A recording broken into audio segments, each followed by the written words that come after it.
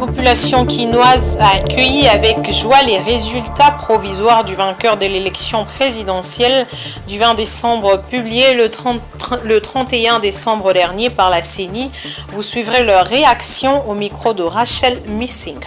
À la une également, afin de renforcer la résilience des écosystèmes forestiers marocains et promouvoir le développement économique et la création d'emplois, la Banque européenne d'investissement et le Maroc ont signé un accord de finances le 28 décembre 2023.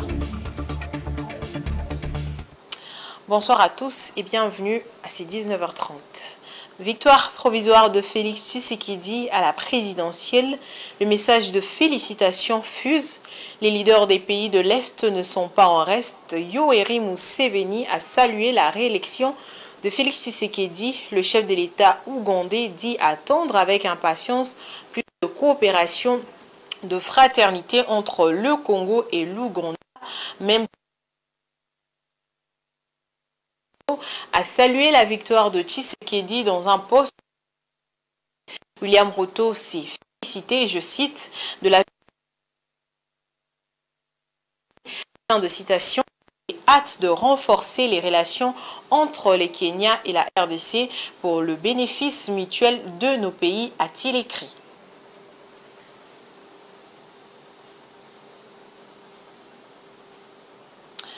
Après la victoire de Félix Tshisekedi à la présidentielle, la publication des résultats pour les législatives nationales et provinciales est aussi attendue, le gouvernement étant l'émanation de l'Assemblée nationale.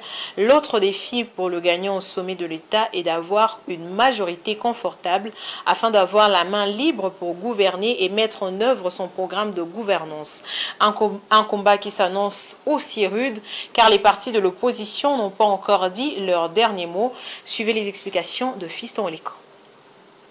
La Commission électorale nationale indépendante vient de mettre fin au suspense pour la présidentielle de 2023 en publiant les résultats provisoires qui ont donné Félix Tshisekedi gagnant avec 73,34%. La décision de la plénière de la CENI a été lue ce dimanche 31 décembre par son président Denis Kadima au centre Boussolo à Kinshasa, une élection déjà contestée par l'opposition qui la traite de simulacre, rejetant ainsi ses résultats en bloc. À côté de la présidence dont les résultats définitifs sont attendus de la Cour constitutionnelle, il y a une autre les législatives nationales et provinciales. Selon la centrale électorale, la publication interviendra ce mercredi 3 janvier 2024. Le président réélu Félix Tshisekedi est conscient de l'enjeu de la gouvernance à venir qui est lié à la nouvelle configuration au Parlement ce qui implique que l'Union sacrée de la nation, dont il est l'initiateur, soit majoritairement représentée à l'Assemblée nationale avec au moins 250 plus 1 députés nationaux. Condition nécessaire pour que le pays n'assiste pas, cette fois-ci à l'expérience de la coalition FCC qui a produit un gouvernement issu de deux familles politiques longtemps opposées. Conséquence, que des contradictions et des malentendus qui auraient retardé, selon les proches du président Tshisekedi, la mise en œuvre de son programme. Du point de vue des élections législatives, plusieurs voix se lèvent pour dénoncer les méthodes peu orthodoxes qui se constatent dans le chef de certains candidats pour s'assurer un siège à l'hémicycle de la Chambre basse du Parlement ou aux assemblées provinciales. L'illustration la plus patente est la correspondance du collectif des candidats députés provinciaux de Kinshasa qui ont sollicité de la CENI l'annulation des scrutins pour les législatives provinciales suite à des cas de fraude soulevés dans la commune de Bandal à Kinshasa. Pour les assemblées provinciales, l'enjeu est aussi de taille car il s'agit des élections des électeurs naturels du gouverneur, les représentants du président de la République dans les provinces. Parlons toujours de la publication des résultats à la présidentielle. Le candidat Félix-Antoine Tshisekedi Chilombo est élu à titre provisoire avec 73,34%. Le nouveau président élu de la République démocratique du Congo devra attendre la, attendre la décision de la Cour constitutionnelle pour entamer son deuxième mandat qui doit impérativement relever des nombreux défis tant sur le plan économique et social que politique et sécuritaire. L'élection présidentielle du 20 décembre 2023 s'est déroulée dans un contexte économique et social tendu, alors que le pays a clôturé l'année 2023 avec une croissance économique supérieure à la moyenne africaine. Il faut aussi reconnaître que le pays connaît une crise financière accentuée par une forte inflation et l'instabilité dans la partie Est où le groupe terroriste du 1-23 téléguidé par le Rwanda enfreint le principe de cesser les feux décidé par le Conseil de sécurité des Nations Unies. Pour 2024, les perspectives économiques de la la RDC reste bonne avec de projections de taux 7,2% contre 6,2% en 2023. Ces perspectives sont tirées par le secteur extractif d'au moins 12% en moyenne entre 2023 et 2024. La RDC dépend des exportations de ses ressources naturelles, en particulier les cuivres avec 60% de recettes d'exportation et les cobaltes avec 20%. Ici, le défi à relever est la réalisation de ces prévisions de croissance. Par ailleurs, selon la Banque centrale du Congo, l'inflation devrait descendre à 9,5% contre plus de 20% en 2023 pour passer sous la cible de 7%.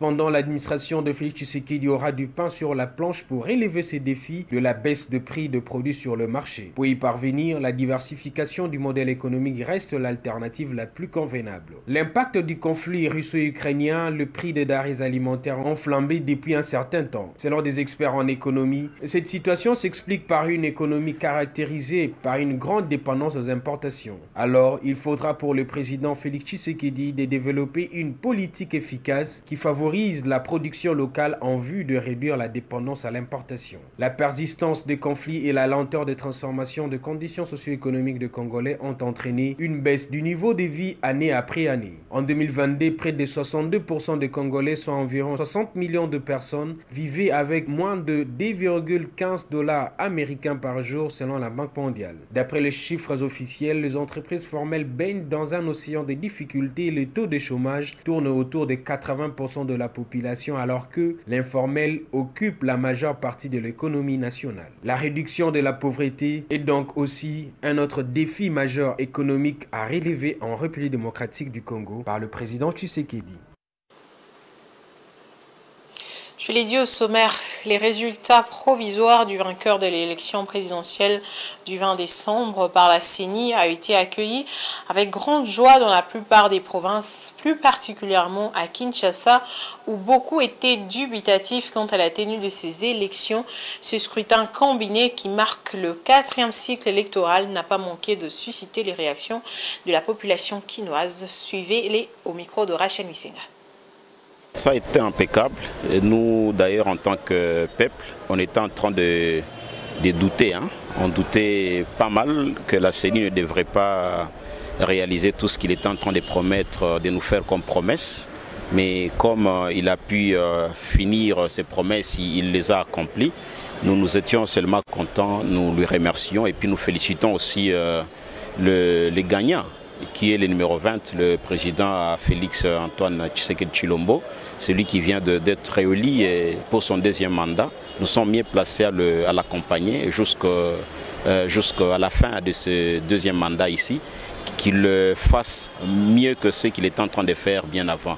Nous demandons aux autres, euh, aux autres opposants, aux autres leaders de l'autre côté de l'opposition de bien se calmer la RDC ne, mourra pas aujourd'hui, la RDC continue.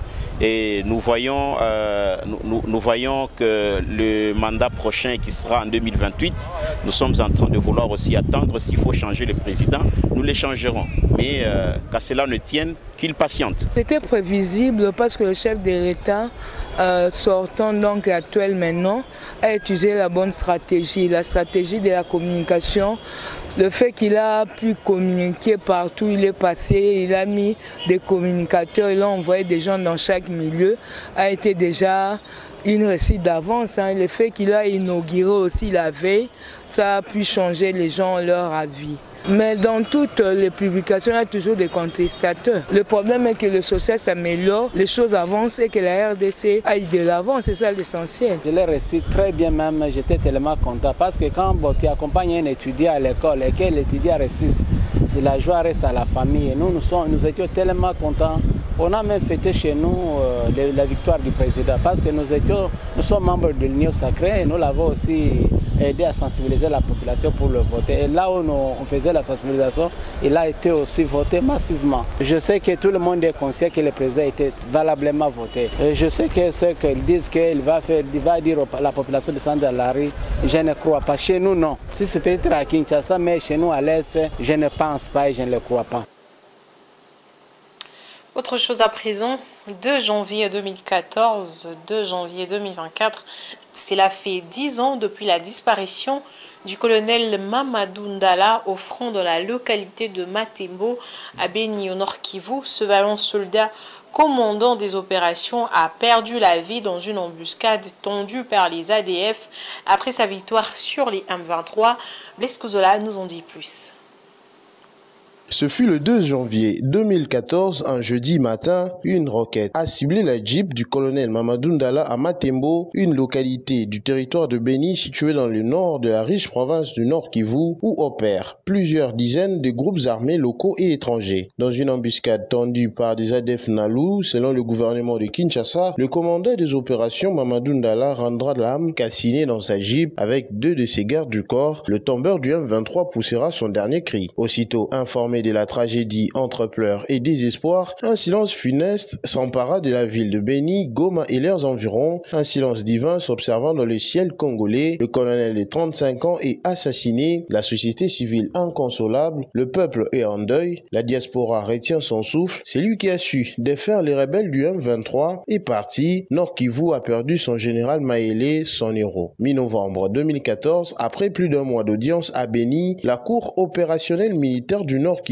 avait conclu que la mort du colonel Mamadou Ndala avait été planifiée par des militaires congolais et exécutée par des rebelles ougandais. À l'époque, le lieutenant-colonel Biro Shunzanzu avait été notamment reconnu coupable de trahison et de complicité avec un mouvement terroriste. Il avait été condamné à mort et au versement d'une amende de près de 3 millions de dollars de dommages et intérêts. Reconnu comme son complice, le lieutenant-colonel Kamoulete avait, lui, été condamné à 20 ans de prison. Major Ngabo et Viviane Massika, eux, étaient reconnus coupables de dissipation des faits militaires et vol simple. Ils avaient été condamnés chacun à 12 mois de prison. Élevé à titre posthume général des armées, Mamadou a été rendu célèbre pour avoir défait en fin 2023 le mouvement de la rébellion M23 soutenu par le Rwanda qui occupait une partie du Nord Kivu jusqu'aux portes de la ville de Goma. Ndala et son bataillon ont su pour chasser ces rebelles, récupérer Rumangabo, Bunagana et protéger la ville de La commémoration de Mamadou Mustafa Ndala est un rappel poignant de la fragilité de la paix et de la nécessité d'une vigilance constante pour protéger les acquis démocratiques et sécuritaires. Alors que la RDC continue de faire face à divers défis, l'héritage et l'esprit de Ndala restent une source d'inspiration et un appel à l'unité et à la résilience pour tous les Congolais.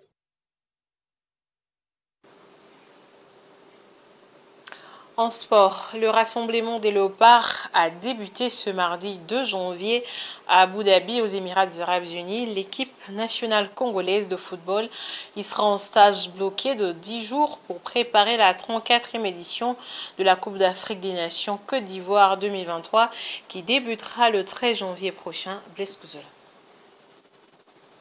la fête du Nouvel An ne va pas se faire durant plusieurs jours pour les léopards de la République démocratique du Congo, appelés en sélection à cause de la préparation de la Coupe d'Afrique des Nations Côte d'Ivoire 2023. Et le jour marquant le début du stage de fauves congolais à Abu Dhabi aux Émirats Arabes Unis pour préparer la phase finale de cette canne ivoirienne qui va se dérouler du 13 janvier au 11 février prochain. Quelques joueurs ont, depuis la matinée du deuxième jour de l'an 2024, pris leur vol en direction d'Abu Dhabi. Durant ces stages, les léopards vont devoir négocier deux matchs amicaux avant de rallier les pays des éléphants. Samedi 6 janvier, premier match face à l'Angola, puis mercredi 10 janvier, deuxième match face au Burkina Faso. Pour rappel, 24 joueurs sont attendus pour cette période de préparation. Aussitôt le deuxième adversaire joué, la nationale congolaise va directement prendre la direction du pays hôte où elle va jouer sa première rencontre de la compétition le 17 janvier prochain. Faisons place à présent à la page internationale.